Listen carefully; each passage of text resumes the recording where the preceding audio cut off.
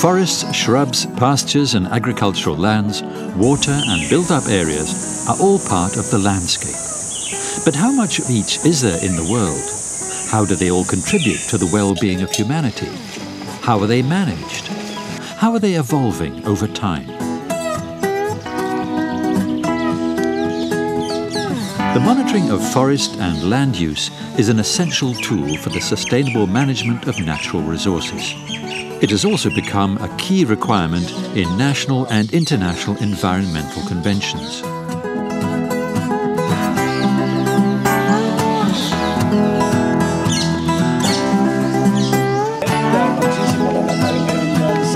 Information provided through forest monitoring plays a valuable role in many international agreements, such as the Rio Agreement of 1992, the 2004 Kyoto Protocol, the Convention on Biodiversity, and the UNFCCC.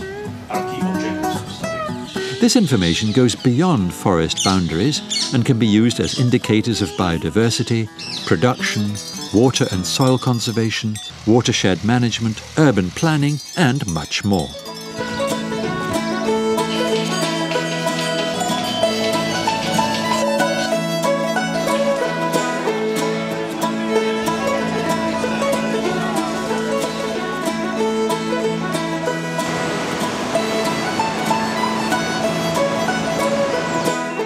Policymakers require more and better information to enhance the role of forests in reducing the impact of climate change and providing vital goods and ecosystem services.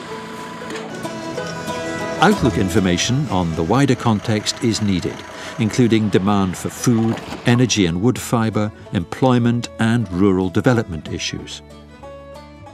Policymakers are also increasingly challenged to provide evidence of good governance of forests.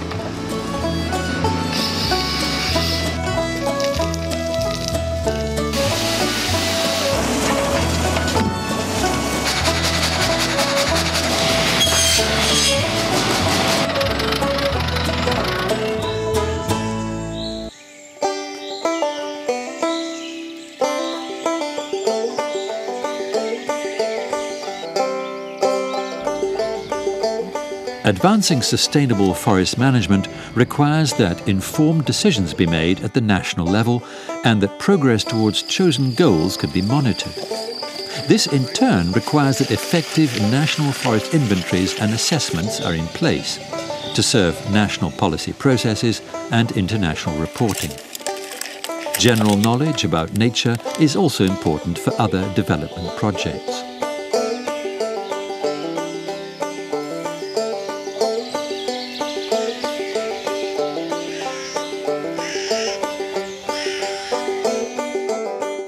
Policies related to natural resources need to be rooted on solid information.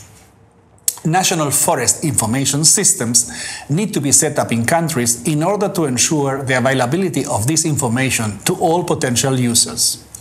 The bulk of this information will come from the national inventories that are produced in a regular basis in countries and ensure the information related to the nat natural uh, variables like area, species, stocks, growth, and so on.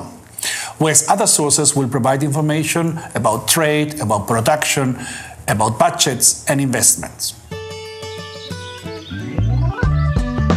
As we mentioned in the beginning, forests, shrubs, pasture and agricultural land, water and built-up areas are all part of the landscape.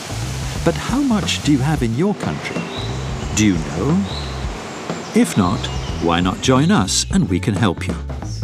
FAO has more than 50 years of experience in integrated natural resources assessment and can give you the support you need.